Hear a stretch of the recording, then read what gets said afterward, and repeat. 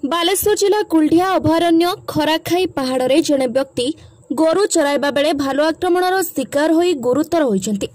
ବ୍ୟକ୍ତି ଜଣକ ହେଉଛନ୍ତି ନୀଳଗିରି ଥାନା ଅଧୀନ ବାଉଁଶବଣିଆ ପଞ୍ଚାୟତ ଗୁହାଳିଆ ଗ୍ରାମର କରୁଣାକର ମହାନ୍ତି।